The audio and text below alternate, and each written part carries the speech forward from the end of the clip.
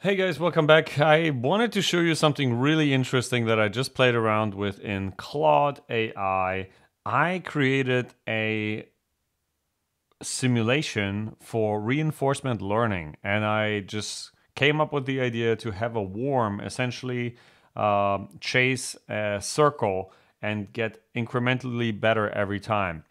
And uh, so I did that, and guess what? Look what it looks like. Here you go. So the blue thing is the warm and the, the green thing is the the bait, basically. And you can see it already came up to 337, 38 times it caught the ball. And uh, after a reiteration, reiteration, initially I could only have it in real time. Then I asked Claude to increase the speed of the simulation so I can go uh, five times, which makes the training faster. 10 times makes it even more faster, and then 50 times to really speed it up. In the beginning, it almost never got the ball. It really took a long time. And now you can see the numbers are just going like crazy. Uh, let, let's have it train a little bit more. I just think it's super interesting to see the capability of what you can do just with a prompt, just to have fun with it and maybe even draw your conclusion if you run an experiment in the browser. I mean, how crazy is that, right? So here's the description a little bit of it. You can read that, pause it, and read it if you like. Uh, and then I added the the speed ramp also. Now let's see how this looks now when we're look at that. Look how fast it's going after. Now it's actively chasing the green ball. In the beginning, it was literally just darting left and right without much intention. Uh, and I thought it was a problem at first because I didn't know if it had some sort of memory built in because it would only just capture the location, I believe, at where it fought, found the ball. But now it can actually perceive it somehow and you can see it actively tracks to it. So let's speed it up a little bit more see what's going to come out of that. I i think this is another like mind-blowing thing because it builds some sort of memory in the back end right? You would think. And i'm yeah this is su- super interesting what other experiments let me know in the comments below what other experiments i should be running in this and let's see how far we can push this uh, the, this uh, reinforcement learning in the ChatGPT browser. Okay, let's see. So, by the way, when I click on one, it's just like frozen. So two is the regular speed.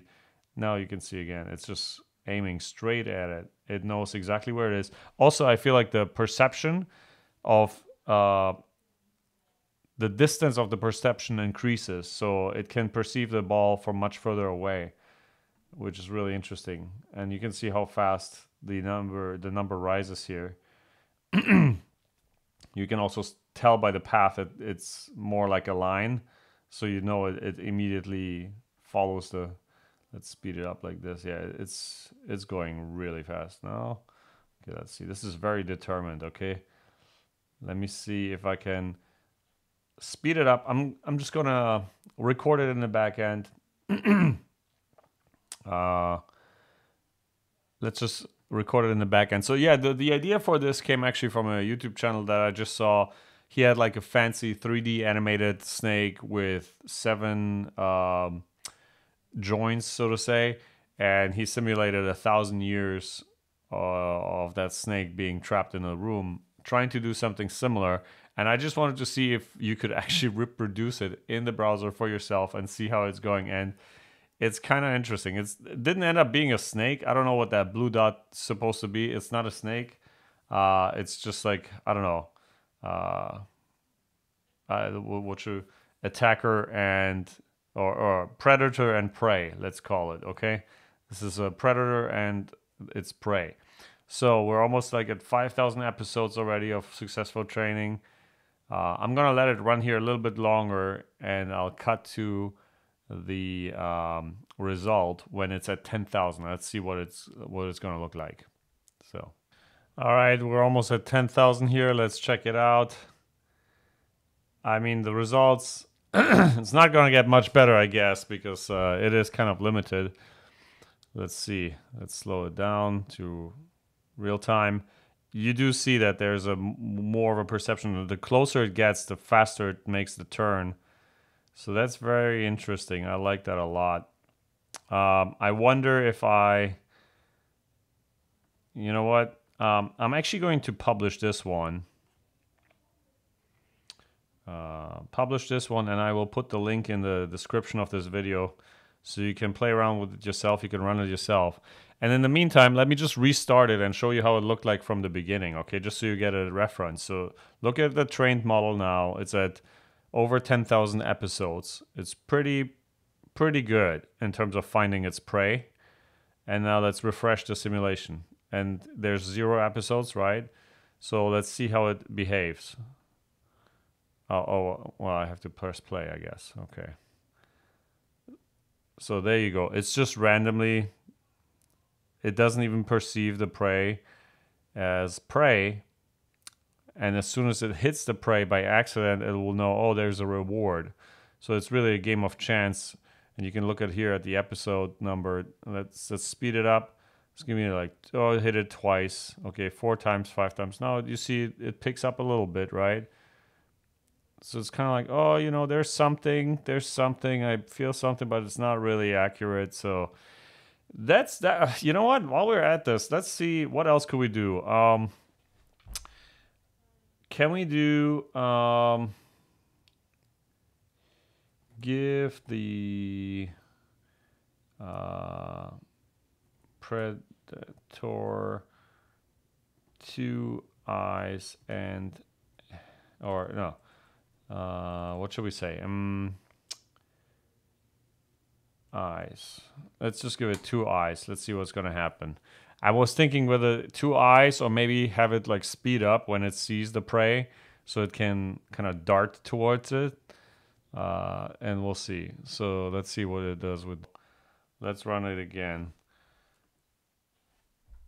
Oh man, Claude's response was limited. Okay, shorten the code, remove the arms and get, uh, actually, let's just go back and see if we can uh, give it two eyes. Okay, there you go. I will just remove. Okay, there you go. We don't need the arms. Let's go back and have.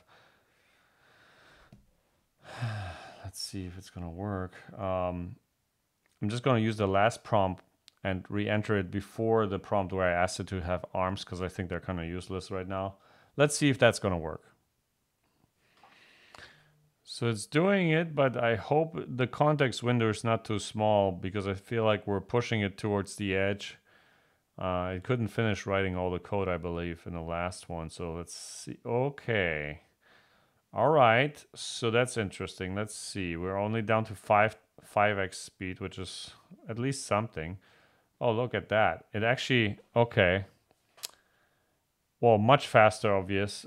So, okay, actually, that's interesting because now, so we have, like I said, we have, let me zoom in here a little bit. Um, we have the eyes tracking the green ball.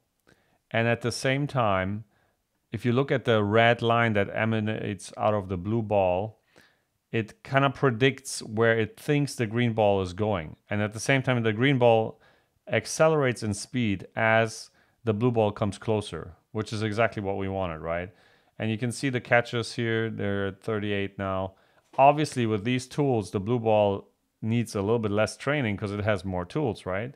Uh, but that's interesting. I wonder if we speed it up, how much more efficient it's going to get. It seems like the green ball is at a it's a, a, a very big disadvantage essentially because it has no weapons to protect itself. So I have to think of how to make it a little bit more fair. But um, I think that's kind of cool.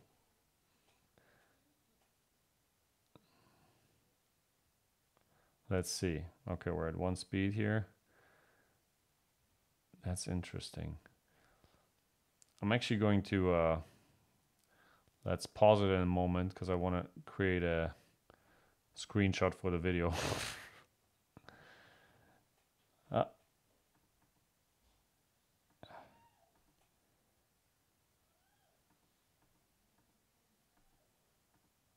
Come on out. The green ball is hiding for sure. You almost never see the green ball in the middle. Ah, there you go. Okay, this is a good one. I'll uh, I'll take that.